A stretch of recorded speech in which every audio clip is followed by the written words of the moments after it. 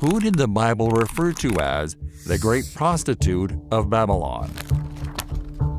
John received the revelation of Jesus Christ from God in order to reveal what must soon happen to his servants. God revealed this message to John. An angel invites John to witness the judgment of the great harlot. Then one of the seven angels who had the seven bowls came and spoke with me, saying, Come here. I will show you the judgment and the doom of the great prostitute who is seated on many waters, influencing nations. She with whom the kings of the earth have committed acts of immorality, and the inhabitants of the earth have become intoxicated with the wine of her immorality. Revelation chapter 17, verses 1 through 2. We read, I will show you the judgment of the great prostitute Right from the start, her judgment is unquestionable. There is never any doubt regarding the fate and ultimate failure of Babylon. Babylon came into being as a religious system a considerable time before Christianity did. But in satanic imitation, it anticipated the coming of the genuine Messiah. According to religious history and legend, the Babylonian religion was founded by Semiramis, the wife of Nimrod, a great grandson of Noah. She was a high priestess of idol worship. A harlot is a class of people that has existed since early societies. This is evident from the story of Rahab.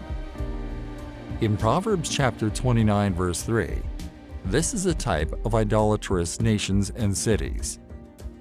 Proverbs chapter 29 verse 3.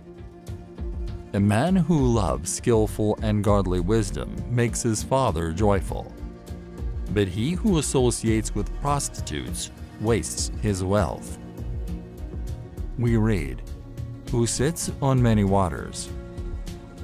Here, Babylon rests on many waters, which translates to the fact that she rules over many different nations her personality is one that can be understood on a global scale. She is an international character.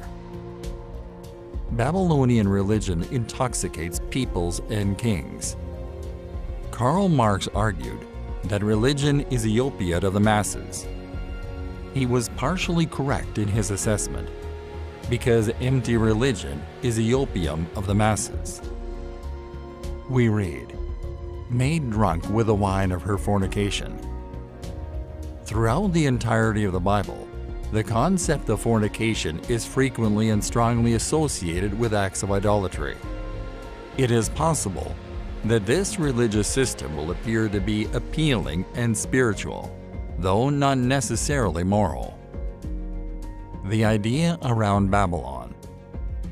In the Bible, the city of Babylon is mentioned a total of 287 times, making it the city that is mentioned the most after Jerusalem.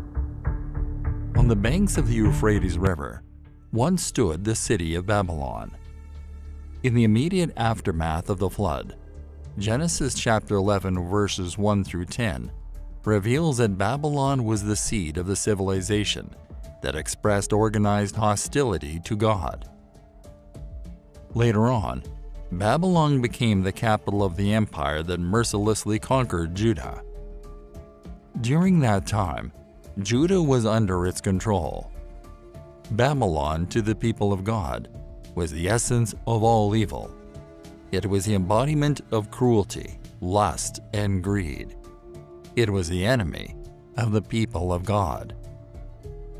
Those who are familiar with the Old Testament will be aware that the word Babylon is linked to organized forms of worship and blasphemy, as well as the oppression of the people of God. In John's day, Rome embodied all the resistance and antagonism to the Christian belief. The notion of Babylon predates both Revelation 17 and 18, as well as the reign of the Antichrist. Babylon as the world system has always been around, from the time of John, when Rome exemplified it, to the current day and throughout history. However, During the reign of the Antichrist, Babylon, in both its religious and commercial guises, will exert an influence over the world that has never been seen before. The religious Babylon is described. Revelation chapter 17 verses 3 through 6. And the angel carried me away in the spirit into a wilderness.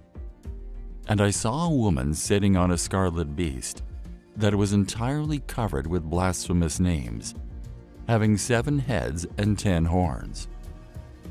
The woman was dressed in purple and scarlet, and adorned with gold, precious stones, and pearls. And she was holding in her hand a gold cup full of the abominations and the filth of her sexual immorality. And on her forehead a name was written, a mystery Babylon the Great, the mother of prostitutes, false religions, heresies, and of the abominations of the earth. I saw that the woman was drunk with the blood of the saints, God's people, and with the blood of the witnesses of Jesus who were martyred. When I saw her, I wondered in amazement. We read, He carried me away in the Spirit into the wilderness. John is taken away into the wilderness the barren nature of the wilderness makes for a fitting backdrop for a vision of judgment. We read, Sitting on a scarlet beast. This beast, which has been depicted in Revelation chapter 13 verse 1 as having seven heads and ten horns, is symbolic of the Antichrist and the rule that he will establish. The harlot rides the same beast that is mentioned in that verse. Revelation chapter 13, verse 1. And the dragon, Satan, stood on the sandy shore of the sea. Then I saw a vicious beast coming up out of the sea with ten horns and seven heads. And on his horns were ten royal crowns, diadems, and on his heads were blasphemous names. The Antichrist the beast speaks blasphemies against God and aggressively oppresses the people of God wherever they may be found on earth. It not only rules the world, but receives the worship of its inhabitants. The first beast is a symbolic picture of the Antichrist, and the dragon is Satan. Note that anti in Greek means instead of, rather than against, meaning a counterfeit rather than a competitor, the man of lawlessness. His characteristics are similar to those of other fearsome beasts, such as leopards, bears, and lions. The number 666 is the dictator's coded name. Her position on top of the beast shows us that she is backed by the political power of the beast. It also reveals that she is in a predominant position and at least outwardly controls and supervises the beast. Her connection with blasphemy and the dragon's beast is clearly seen from God's perspective. To the people of the world, however, she will appear to be very devout and to have the faith that they so desperately need. We then read, The woman was arrayed. The woman is clothed with emblems of governance, scarlet, and emblems of wealth, purple, gold, and precious stones. In spite of this, she engages in idolatry, abominations, as well as impurity, the filthiness of her adultery, in the midst of this luxurious setting. She was dressed in purple and scarlet. The dyes needed to manufacture fabrics in the colors purple and scarlet was difficult to come by and expensive. These colors were associated with splendor and magnificence. On her forehead, a name was written. The name on her forehead identifies her in more ways than one. It was common practice for Roman prostitutes to wear a headband that had their name etched on it. We read, Mystery, Babylon the Great, This title does not refer to the physical city of Babylon, but rather to the spiritual, secret representation of Babylon, which is the origin of all forms of spiritual adultery and idolatry. This harlot must encompass more territory than a single department of a religious organization. She is the personification of Satan's very own movement, which might be described as a religion of the global order. Our world is ready to be seduced by the harlot because it is built on the strong notion that it doesn't matter what you believe, as long as you believe in something. We read, Drunk with the blood of the saints, and with the blood of the martyrs of Jesus. The woman not only persecutes, but she also takes pleasure in the fact that she is persecuting the godly, much like a drunk person takes pleasure in alcohol. Why was this symbol depicted as a female form? A great number of nations have given their homelands the form of a female figure.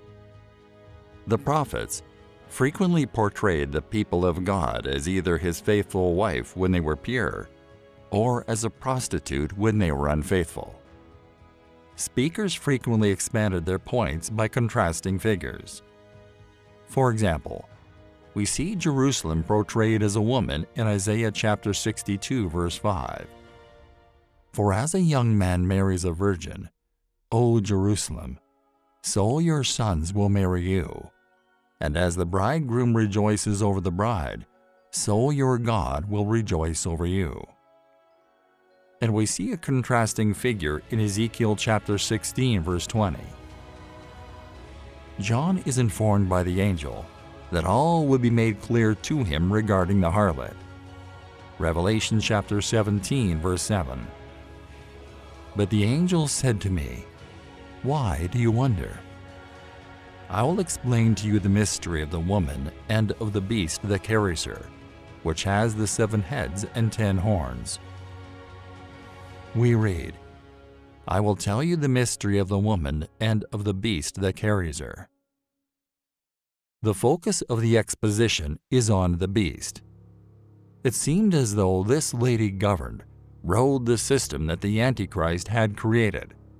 But in reality, he is the driving force behind everything, and is simply using her in the same way that tyrants have always used religion, as a means to achieve their goals.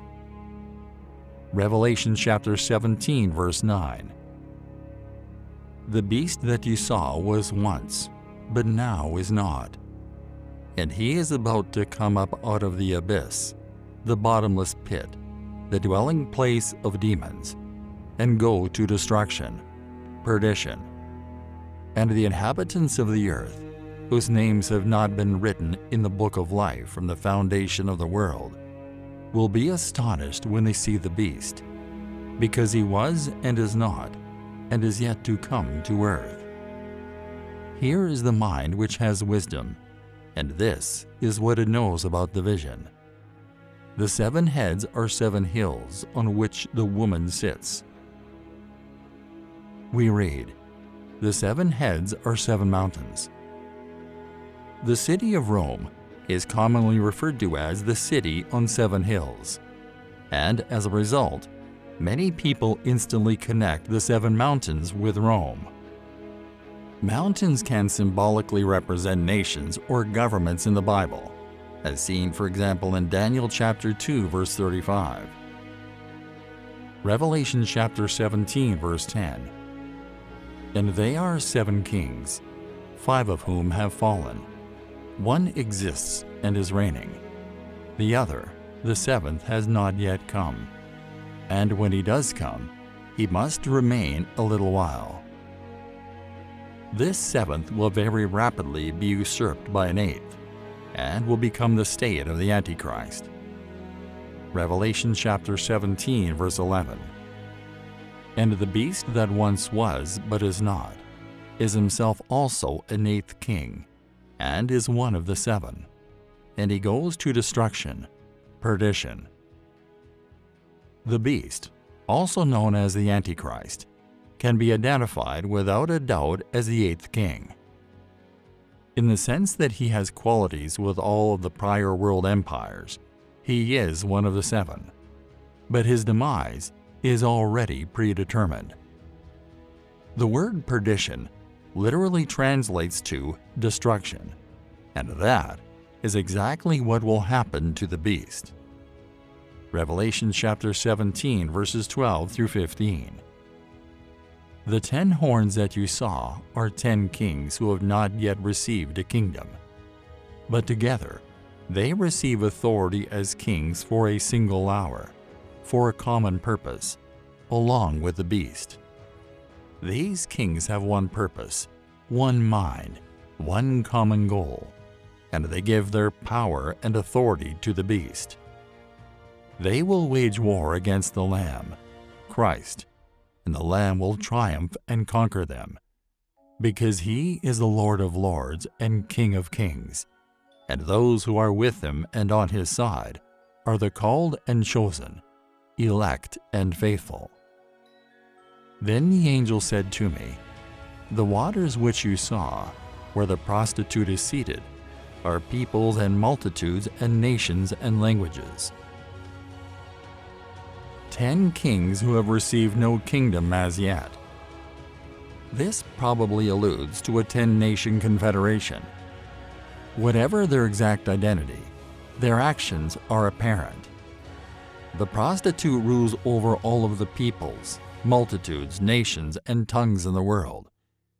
This demonstrates that the harlot's impact can be felt all across the world as a result of her relationship with the beast. This will be a truly one world religion. The meaning of the harlot is centered on her connection to the beast, namely how she is completely entwined with the beast and the government that he leads. The great harlot is judged. Antichrist's allies turn on the great harlot. Revelation chapter 17 verse 16 and the ten horns which you saw, and the beast, these will hate the prostitute, and will make her desolate and naked, stripped of her power and influence, and will eat her flesh, and completely consume her with fire. We read, These will hate the harlot, make her desolate and naked, eat her flesh, and burn her with fire. In the end, the Antichrist will not tolerate any form of worship other than that of himself. The Son of Destruction exalts himself above all that is called God or that is worshipped, to the point that he sits in the temple of God, demonstrating to himself that he is God. 2 Thessalonians chapter 2 verses 3 through 4. Let no one in any way deceive or entrap you for that day will not come unless the apostasy comes first. That is, the Great Rebellion, the abandonment of the faith by professed Christians, and the man of lawlessness is revealed, the son of destruction, the Antichrist, the one who is destined to be destroyed, who opposes and exalts himself, so proudly and so insolently, above every so-called God or object of worship, so that he actually enters and takes his seat in the temple of God, publicly proclaiming that he himself is God. We read, Burn her with fire. After the Antichrist has successfully entrenched his rule, he will no longer require the assistance of religious Babylon. After that, he will make efforts to demolish and ultimately destroy her and her one world religion. Tyrants' primary objective has always been to appropriate religion for their own ends and then cast it aside afterwards. In the end, everything is guided by the hand of God.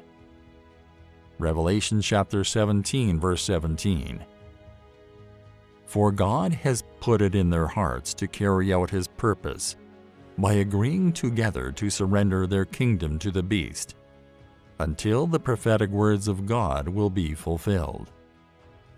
We read, God has put it into their hearts. The judgment that was sent against religious Babylon was ordered by God.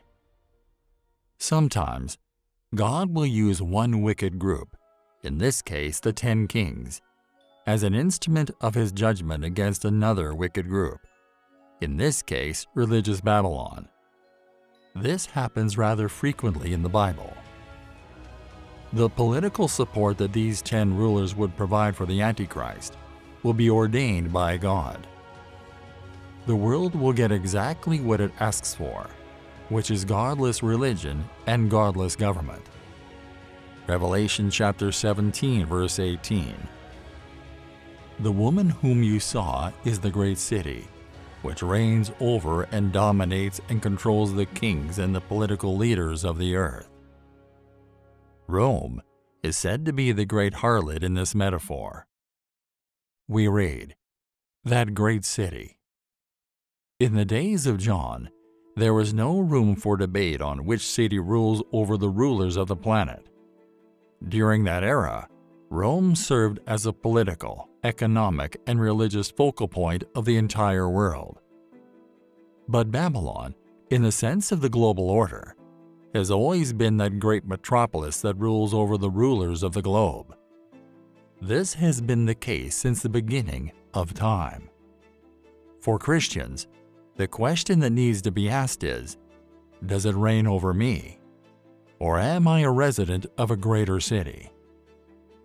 Galatians chapter 4 verse 26 But the Jerusalem above, that is the way of faith, represented by Sarah, is free. She is our mother. Rome was the ready personification of Babylon. Idolatry is just as prevalent as it was in the past, but is now more widespread. Which city is most identifiable with the world system? Hollywood, Wall Street, Washington? The fact that the identity of the whore of Babylon is referred to as a mystery indicates that we are unable to know with absolute certainty who she is. The passage does give us some clues. To really understand the deep tyranny of Babylon, we need to delve into the details of Babylon in the Old Testament. Today, we see a lot of people challenge God. However, this seed had been planted for thousands of years. This is the story of the great cities that challenged God. It starts with the first man who created such a kingdom. The story of Nimrod and Babel is an intriguing tale that speaks to themes of ambition, pride, and the desire for unity in a way that defies the will of God. Nimrod's accounts are primarily found in the book of Genesis, specifically in chapters 10 and 11. The name Nimrod has become synonymous with being a rebel, influenced by his rebellious act against God through the building of the Tower of Babel. Nimrod is primarily known as a mighty hunter before the Lord, making him an unparalleled figure in terms of his skills and might according to Genesis chapter 10 verse 9. His hunting skills weren't just a sport. It was a sign of leadership and strength in a world that was still recovering from the Great Flood. Nimrod was a protector, a provider, and a conqueror. He was a powerful leader credited with building the city of Babylon, among others. People often connect Nimrod with the idea of civilization itself, bringing people together to live in cities rather than scattered about. The Bible tells us that his kingdom began with Babel, Erech, Akkad, and Calneh in the land of Shinar. Genesis chapter 10 verse 10. These locations later became part of the ancient kingdom of Babylon, which plays a significant role throughout biblical history. The cities Nimrod founded continue to become great empires. The ancient city of Akkad was a major center of early civilization. Calneh is another city in the region of Shinar, though it's less known compared to the others. Babel Babel is often thought to be the same as Babylon. In fact, some Bible translations actually list this city as Babel rather than Babylon. After the flood, people began to settle and grow in number. Before the tower's construction, the people spoke one language and had a united purpose. The people who settled in Shinar are the ones who attempted to build the Tower of Babel, as told in Genesis chapter 11 verses 1 through 9. God wasn't too happy about this and confused their languages, scattering them over the earth. Their intent was to achieve unity, but not under God's terms. They wanted to build a tower to reach heaven, which was a direct defiance of God's plan for them to multiply and spread across the earth. The tower served as a guide to them. It was a symbol of what people could achieve and how smart they were. So, the tower was left incomplete, a leftover from when people thought they could reach the sky, but were reminded they couldn't escape their human limits. But this is not the end of Babylon, as we have seen. Jeremiah can be referred to as a prophet to the nations he now addresses Babylon in particular. It is a forecast, a prophecy, of Babylon's and the world's demise. God declares war on both Babylon and the gods of Babylon. Babel, Babylon, is a symbol of rebellion against God, the earthly city of human splendor opposing the heavenly city that glorifies God. Ancient Babylon was a famous city that was situated in the region of Mesopotamia, that is now known as Iraq. It is used throughout the Bible as a metaphor for human arrogance, disobedience, and the worship of false gods. The Bible doesn't give us a ton of details about what Babylon was like before the reign of Nimrod, but it does provide some interesting points for consideration. Babylon was part of the land of Shinar, which is where people settled after Noah's ark came to rest and the waters of the flood receded. Babylon in the Bible was a place where many people, including the Israelites, were taken and made to live far from home. When Babylon defeated a city called Jerusalem, they didn't just take the land, they also took away many smart and skilled people from Judah. Nebuchadnezzar at this time was the king of Babylon. One day, his army went to Judah and conquered it. The Fall of Babylon Belshazzar succeeded Nebuchadnezzar as king many years later. One night, during a big party, Belshazzar and his high-ranking friends were disrespectfully using special cups and plates they had stolen from a holy temple in Jerusalem. At some point during the festivities, a phantom hand appeared and scribbled on the palace wall. The events of Daniel 5 occurred in 539 BC, the year, the very night in fact, that the great Babylonian kingdom founded by Nebuchadnezzar fell to a coalition from the Medes and the Persians. According to Daniel, the problem was that Belshazzar knew all this, yet still refused to repent and be humble. Belshazzar exalted himself against the Lord and worshipped inanimate objects rather than the God who gave him existence and breath. So, rather than repenting of the very things that had gotten his predecessor into trouble, he simply shook his fist in the face of God just as Babylon had been God's tool to chasten Judah, so the invaders, Cyrus with the Medes and Persians, and later Alexander with his Greek army, would be God's weapon to defeat Babylon. God spoke to the invading armies and commanded them to get their weapons ready and shout for victory, because they would win the battle. This was no ordinary war. This was the vengeance of the Lord. The Lord was in command of the invasion, and his orders were to be carried out explicitly.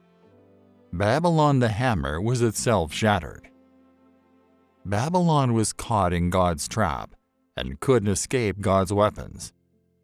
Their young men would be executed like cattle, for the day of judgment for Babylon had come. God gathers the armies against Babylon. This report paralyzed the king of Babylon. Like a hungry lion looking for prey, Cyrus and then Alexander would attack Babylon, and nobody would be able to resist. God's chosen servant will always succeed. When Babylon was in God's hands, it was like a wine cup, making the nations act like drunks. Now, however, the cup would be shattered, and Babylon's power would be destroyed. God, however, made it clear that there was no future in Babylon, for he had determined to destroy the city. If his people remained in Babylon, they would suffer the city's fate. The Bible frequently portrays cities in a negative light. The initial reference, which is usually crucial, links them to Lamech's line of weaponry and the production of mass destructive weapons. They concentrate people, and hence sinners, and thus sin. Greed and pride are the two sins that are highlighted in this passage. Both are linked to money's idolatry, because it is impossible to worship both God and mammon at the same time.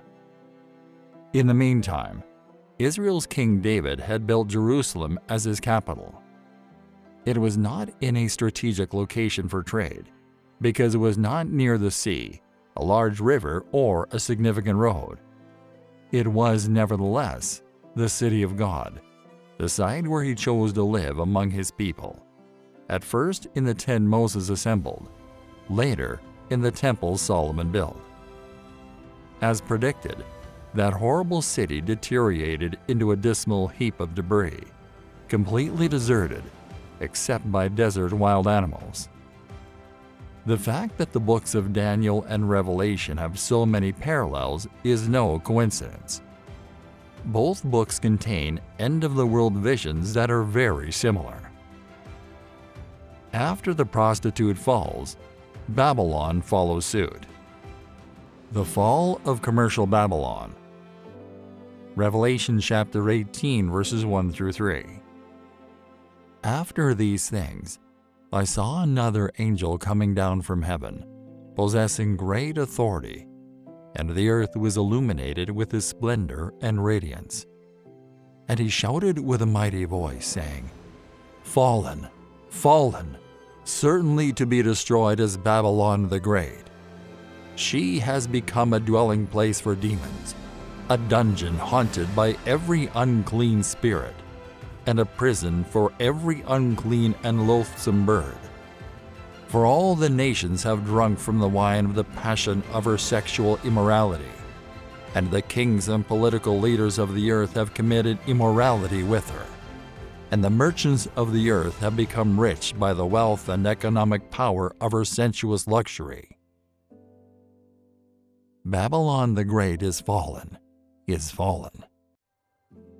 He proclaims that Babylon has fallen, fallen, and the word is repeated like a solemn dirge of the damned. We read, Become a dwelling place of demons. A tragic end for a city that was once of immense importance. The sin of Babylon consisted not only of idolatry, often known as immorality, but also of vanity, greed, and the hoarding of wealth for one's own benefit. Lament for Commercial Babylon. Revelation chapter 18, verses 9 through 10. And the kings and political leaders of the earth, who committed immorality and lived luxuriously with her, will weep and beat their chests in mourning over her when they see the smoke of her burning standing a long way off, in fear of her torment, saying, Woe, woe, the great city, the strong city Babylon! In a single hour your judgment has come. We read, standing at distance for fear of her torment. These kings are forced to keep their distance, since the heat and smoke produced by her burning are so intense. Some people have the opinion that this may perhaps be a hint of nuclear weapons. Babylon is now desolate and without any influence. Revelation chapter 18 verses 22 through 23. And the sound of harpists and musicians and flutists and trumpeters will never again be heard in you, and no skilled artisan of any craft will ever again be found in you. And the sound of the millstone, grinding grain, will never again be heard in you, for commerce will no longer flourish, and normal life will cease. And never again will the light of a lamp shine in you, and never again will the voice of the bridegroom and bride be heard in you for your merchants were the great and prominent men of the earth. Because all the nations were deceived and misled by your sorcery, your magic spells, and poisonous charm. John uses imagery and poetic language to explain the impending doom that will befall Babylon's manufacturing and commercial sectors. But Babylon is doomed. She and they will fall their days will be numbered. The incredible manner in which this is accomplished is absolutely plausible in today's environment. Ambitious politicians, hungry for power, resent this financial cloud. They are even prepared to bring about economic disaster if that will enable them to take over. The kings will be jealous of the woman who rides them and will resolve to destroy her the city will be engulfed in flames. It will be the world's worst economic disaster in history. Many, many people will weep and mourn over the ruins. The disaster will have been brought about by God, not by any physical action. He will have instilled in their hearts the desire to fulfill His mission. He'll have persuaded them to join forces with the beast to fight the city the Antichrist will have political authority, and the false prophet religious control. The kings will now offer them economic control in return for delegated powers for themselves. But their possession of such privileges will be extremely short. One hour. Babylon's demise is so certain that it is depicted in Revelation as having already occurred. This is something Christians can be assured of. However, there are practical reasons for informing them. What is the connection between God's people and this final Babylon? There are three rules to follow. First, there will be many martyrs in the city. The whore is drunk with the blood of the saints, the blood of those who bore testimony to Jesus. This last phrase again indicates the presence of Christians and occurs throughout Revelation. In a city devoted to immorality, pious people have no place. A conscience is something that the community does not desire. Second, Christians are instructed to come out of her, my people, so that you will not share in her sins, so that you will not receive any of her plagues for her sins are piled up to heaven, and God has remembered her crimes. Revelation chapter 18, verses 4 through 5. And I heard another voice from heaven saying, Come out of her, my people, so that you will not be a partner in her sins and receive her plagues. For her sins, crimes, transgressions, have piled up as high as heaven and God has remembered her wickedness and crimes for judgment. Why Babylon matters to us. Babylon's story teaches us that being too proud can get us into trouble, and it's important to be humble. It teaches us that however mighty or ambitious we may be, our plans must align with God's will. When they don't, the results can be undesirable. The story of Babylon is that of caution. It warns us against the dangers of pride and self reliance, urging us to depend on God instead. It also speaks to the folly of human efforts to achieve unity or immortality outside of God's plan. Whether as a community or as individuals, the story reminds us that our ambitions should be aligned with God's will. Otherwise, like the people of Babylon, we risk finding ourselves working against God's purposes, and that can only lead to confusion and ultimately to our downfall. So, the next time you find yourself striving to build a tower, take a moment to consider whether your ambitions align with God's plan for you. Remember, unless the Lord builds the house, the builders labor in vain. Psalm chapter 127 verse 1. Prophets like Isaiah and Jeremiah foretold Babylon's fall due to its injustices, idolatry, and immorality. Therefore, as individuals or as a society, our actions have consequences. Oppressing others, disregarding morality, and turning away from what's right can lead to downfall. We also see that earthly kingdoms are temporary. Despite its might and grandeur, Babylon eventually fell to the Medo-Persian Empire, just as it was foretold. In other words, everything on earth is temporary, from our own successes to the way society is built. The only thing that will last forever is God's kingdom. So, focus on what will last forever, not just on what is here today and gone tomorrow. The story of Babylon getting powerful and then falling apart shows us that God tries to communicate with us in many ways, and we should pay attention and not be too proud. Babylon was an amazing place made by people, but it fell apart because God wanted it to. This story is always important because it reminds us that real power and greatness belong to God. Like it says in the Bible, God's rule is forever, and it will always be there for all generations. Daniel chapter 4 verse 34. The emergence of another woman, the bride. So Revelation 21 through 22 refers to the New Jerusalem city as the bride of the Lamb, because it is the place that both Israel and the church dwell with God in perfect harmony.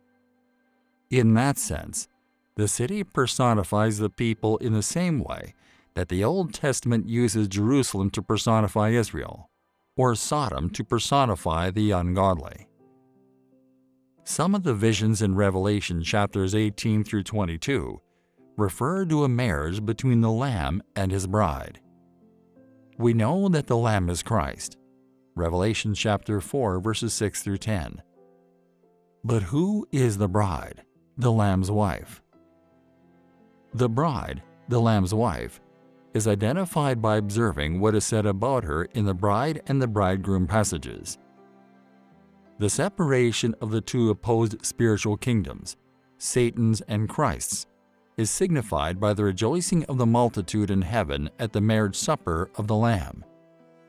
This is in contrast to the wicked city, in which the voice of the bride and bridegroom is no longer heard. Revelation chapter 18 verse 23. So we understand that the bride of Christ is a figure of his kingdom, or called out people which he, the Lamb, purchased with his own blood. Revelation chapter 5 verses 9 through 10. Within a lengthy lament over the wicked Babylon, we notice this significant statement. And the voice of the bridegroom and the bride will no longer be heard in you. The bride's raiment. Revelation chapter 19 verses 7 through 9. Let us be glad and rejoice and give him glory for the marriage of the Lamb has come, and his wife has made herself ready. And to her it was granted to be arrayed in fine linen, clean and bright. For the fine linen is the righteous acts of the saints. Then he said to me, Write, Blessed are those who are called to the marriage supper of the Lamb. And he said to me, These are the true sayings of God. The bride's clothing of fine linen, clean and bright, represents the righteous acts of the saints or holy people. It follows sensibly that the bride herself is a figure for those very saints who do the righteous acts through faith in the Lamb, and who together make up the church of the Lamb, the church he makes holy and righteous by his own blood. By contrast, in the next vision, a multitude in heaven sings, Let us rejoice and be glad, and give glory to God Almighty, for the marriage of the Lamb has come, and his bride has made herself ready. Verse 8 describes the bride's dress, as any decent report of a wedding would do. She was given fine linen in which to clothe herself, linen bright and clean. The bride's like sign. The bride, the Lamb's wife, is shown to John, but he sees the New Jerusalem. The bride of Christ and the New Jerusalem signify the same thing. Revelation chapter 21 verses 2 through 4. And I saw the holy city, New Jerusalem, coming down out of heaven from God, prepared as a bride adorned for her husband. And I heard a loud voice from the throne saying, Behold, the tabernacle of God is among the people, and he will dwell among them, and they shall be his people, and God himself will be among them, and he will wipe away every tear from their eyes and there will no longer be any death. There will no longer be any mourning, or crying, or pain. The first things have passed away. This Jerusalem is the one that gives us hope, the Jerusalem that is in the heavens, and the location of our true citizenship. Hebrews chapter 12 verse 22. But you have come to Mount Zion, and to the city of the living God, the heavenly Jerusalem, and to myriads of angels.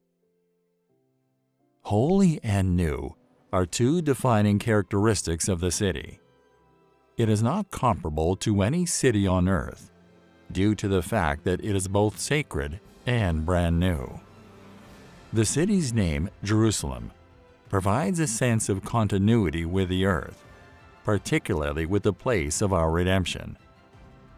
It is important to note the significance of referring to this wonderful dwelling place of God and His people as the Holy City. The consummation of the Christian hope is supremely social. What distinguishes the New Jerusalem from the Old is that there are no more tears, no more sorrows, no more deaths, and no more agony. In the future, it will be demonstrated that the New Jerusalem does not have a temple, does not perform sacrifices, does not have a sun or moon, does not experience nighttime, sin, or abomination. The Hebrew writer says, You have come to Mount Zion, to the city of the living God, the heavenly Jerusalem, and to myriads of angels, to the general assembly and church of the firstborn who are enrolled in heaven. The destiny of the saints of all ages, Hebrews chapter 12 verses 22 through 24, and the angels of heaven, is to be welcomed into that church when he takes her into heaven. At the end of the passage, the angel says to John, Come, I will show you the bride, the Lamb's wife. Revelation chapter 21 verse 9. John is then swept away to be shown the holy city, Jerusalem. You should have gathered that the bride of Christ and the New Jerusalem both represent the same thing, because the angel said he would show John the bride of Christ, yet he showed him the New Jerusalem. All things new. Revelation chapter 21 verse 5. And he who sits on the throne said, Behold, I am making all things new. And he said, Right, for these words are faithful and true. This is a quick look at the thinking behind God's eternal plan to allow sin and its destruction in order to do a greater work of making all things new. At this stage in his plan for the ages, the plan has been executed in its entirety. Everything is brand new. Revelation chapter 21, verses 9 through 10. The city is portrayed as the bride to impress upon us the city's incredible beauty. This is a departure from Babylon and the woman in Babylon. What will it be like? Revelation chapter 22, verses 3 through 5. There will no longer be any curse, and the throne of God and of the Lamb will be in it, and his bondservants will serve him. They will see his face, and his name will be on their foreheads. And there will no longer be any night, and they will not have need of the light of a lamp nor the light of the sun because the Lord God will illuminate them, and they will reign forever and ever. Heaven is going to be a place where the darkness of this age is finally and completely eradicated for good. The light does not come from an artificial source, not even the sun. Rather, the light comes from God Himself. Heaven will be a realm where God's people can rule for all of eternity, in contrast to the millennium, which will only last for a finite amount of time. It will go on indefinitely. We see the return of paradise. The bride's mission. Revelation chapter 22, verse 17. And the Spirit and the bride say, Come and let him who hears say, Come, and let him who thirsts come. Whoever desires, let him take the water of life freely. The bride of Christ joins in sending out the invitation to the marriage supper of the Lamb and to drink the water of life.